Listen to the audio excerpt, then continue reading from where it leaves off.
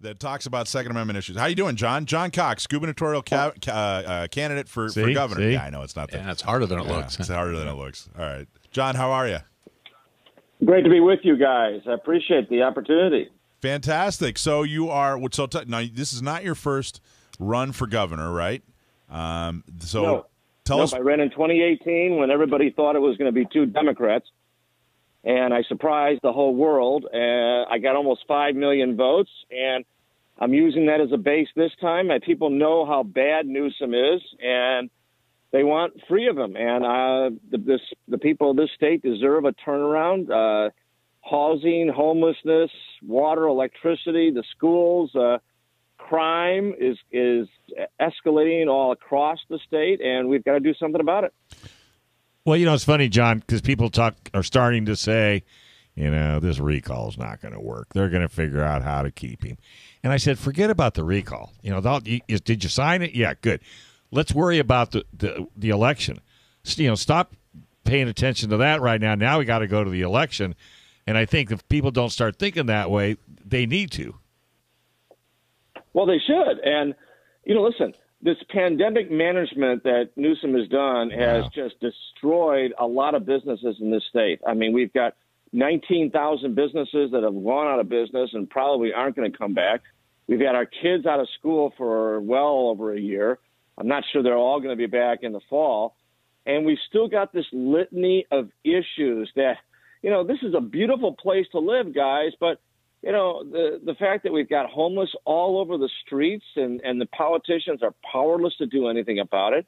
We've got an unbelievable cost of living. We've got the highest taxes in the country. At the same time we have the highest poverty rate because we're squeezing the middle class into poverty. People are leaving this state. We've had the first drop in population in history for California. I believe the people of this state are finally ra- they're finally at the point where they feel like we have to make a change, and we will. So, John, California is enormous. That's not breaking news. Um, we're a huge economy. What, like seventh or eighth Yeah. biggest economy in the world? There are 200 or so countries in the world, and, and California is bigger than just about all of them. I mean, we're, we're, it's basically running. You're running your, your own little little country here. It's it's it's enormous. It's it's diverse. There's you know urban, suburban, and rural. You know, it's as complicated as it gets. What what's your background and what qualifies you to uh, run California? I, I've started my own business when I was 25 years old. I've run a successful business for 40 years. And I've run that business. It's a $300 million business. I started it from nothing. And I run it by solving problems and delivering results. I manage people, I hold them accountable.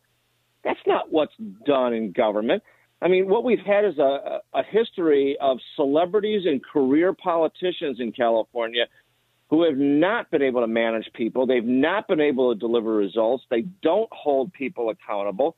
And, and frankly, a lot of them have been corrupt. I mean, let's face it, we've got the most corrupt governor, governors in history, Mr. Newsom. I don't know if you saw the recent news where he's getting all kinds of contributions to his wife's charity from people who do business with the state. What? And then his wife takes a two million dollar salary out. oh my gosh. Oh, shocked. I mean, you know, listen, yeah. I got to tell you, people, the trouble in California is that people have become too used to this corruption. Yeah. We've got to rise up. We've got to have a rebellion. We've got to do something about the unbelievable taxes and, and the mismanagement of this state, the housing crisis. We're, we're, uh, we're in a situation now where we have a drought, which is a man made drought, a government caused drought.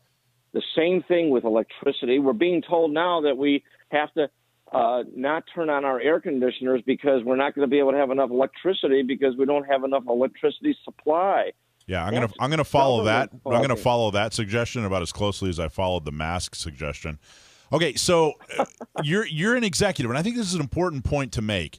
You're not running for a legislative position. Um, and there's a very big difference between a legislator and an executive. A lot of people uh, want to know what laws the president's going to pass when he gets into office. Well, guess what? That's not what he does. An executive, uh, it's a very different skill set. And I would argue that we haven't really had a true executive uh, as a as a governor in quite a while. So I, you know, that I think your your skill set is it definitely matches up for the job. You know, what are your thoughts on that? Yeah, and not only that, by the way, you should know that I'm a CPA. I started out uh, in my career as a CPA. I'm also a lawyer and an investment advisor, and I understand how business works. Listen, uh, Gee, a you're a, wait a minute. You're a CPA, the, so you're a CEO, a CPA, an investment advisor, right. and an attorney. Yes, that's you, like you're like you're. You don't need to hire anybody. I know you're like you're like a, you're like a modern professional version of like the village people. You're like he's yeah, got it all. No, you know, you know what it gives me though. It gives me the ability to detect BS when I see it mm. because I know what all these things should encompass, and I'll know BS when somebody's giving it to me.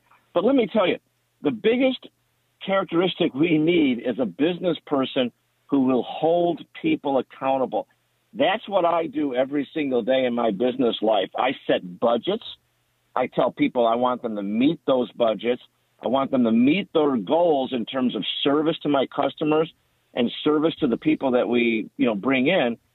And that is what is totally lacking in government. There's almost no accountability. There's almost no goal setting where people are actually held to a standard and, and that's what business people do all day long.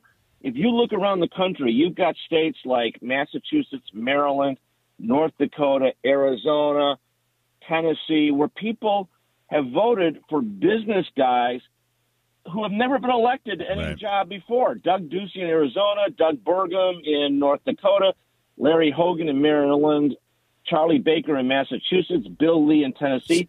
These we, are guys who are steeped in business and right. who deliver for the voters, and they like them. Right, and so we've established. I think that that my personal opinion is that we need more executives running for uh, executive positions like governor, president, etc. I agree. Um, where, I agree. Now, but you, you're going to have to work with the legislature a lot. That's a big part of the job of governor, especially in California, where we're just about we've just about turned into a to a big D democracy. We're we're practically not even a representative uh, you know, constitutional uh, uh, government anymore. But anyway, uh, so where do you stand? Representational to the republic. Well, I yeah. we, we we're supposed to be.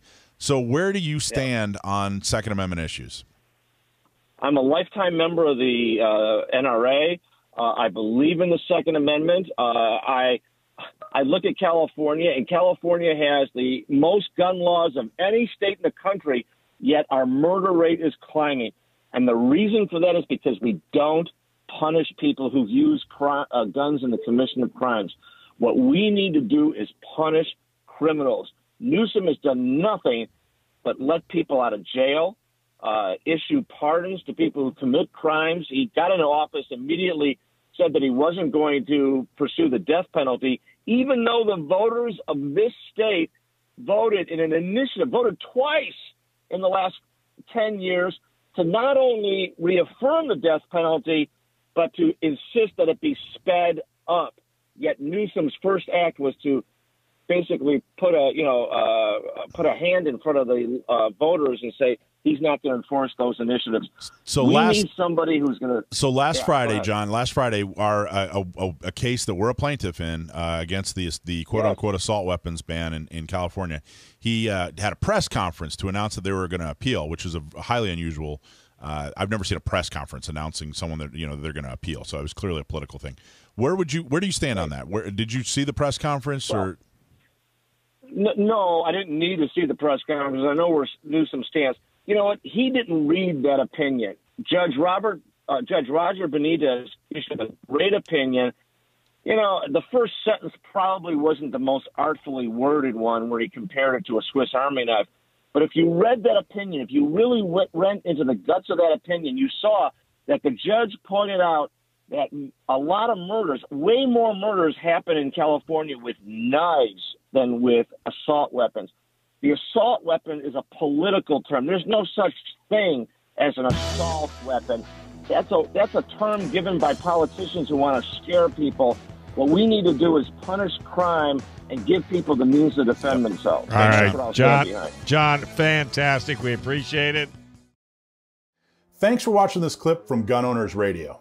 You can watch us live every Sunday from 4 to 6 p.m. California time, right here on our YouTube channel, or if you're in the San Diego area, you can listen to us on 1170 a.m. We're also available on your favorite podcast platform for free. Don't forget to like and subscribe so that you can help restore and protect the Second Amendment, not just in California, but across the country.